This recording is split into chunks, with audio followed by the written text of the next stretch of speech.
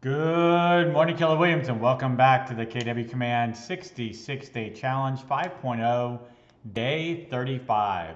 So lately we've been talking about DocuSign through the KW Command Opportunities applet, and today we're going to continue talking about DocuSign. Specifically, what do we need to do if we get a PDF with multiple forms included, or what do we need to do if we are asked by the listing agent or buyer's agent to combine all of our documents into one PDF to send over for review and signature. So we're going to talk about combining and splitting PDFs inside of DocuSign today. So we're going to start by diving into opportunities, our sixth applet down, the handshake icon. We're going to open up that opportunity that we've been working on lately go into that Documents tab and we're going to click on Go to Transaction in order to open that DocuSign room.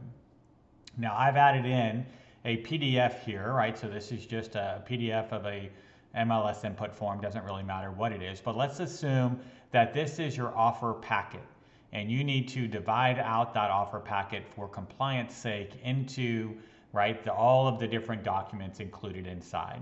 Well, the first thing we can do is one, go into the document itself. And you can see once we open the document, we have this button at the top that says document actions. It looks like a little piece of paper with its ear folded over. And if we come down, we have split as an option. When we hit click on split, you can see we get all nine pages open. We can even kind of zoom in on the pages to see what's included. And on the left-hand side here, you can say, see it says new document name, and then what pages do you want to include.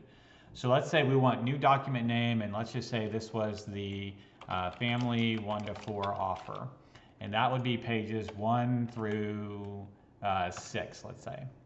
And then page seven is the third party financing addendum, right? And that would be pages seven and eight. And then let's say that nine was the HOA addendum. That's going to be page nine. We can now go in and save here in the top right hand corner.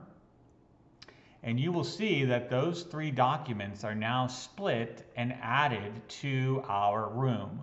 So we still have the original quote unquote offer packet, but now we've got the family one to four split out the HOA addendum split out, and the third party financing addendum split out.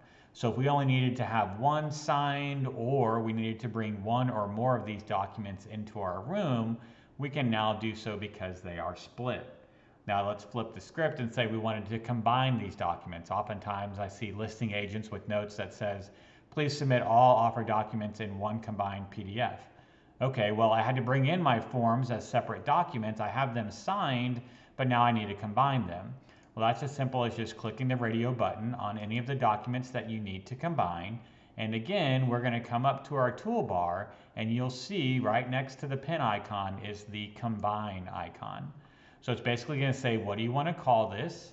And so you might say, um, one, two, three, Main Street offer packet, um, you know, Donald and Daffy Duck. That's going to be our combined document title. We're going to click on Save. And now you'll see that it's going to successfully combine all of those documents. The originals are still here. Here's family one to four, here's HOA, here's third party. But now we have that combined document available for us to send off, download, upload, whatever we need to do with this document. So that's it for today. Kind of a simple challenge, but basically just the ability to split out your combined PDFs or combine your split PDFs into one document.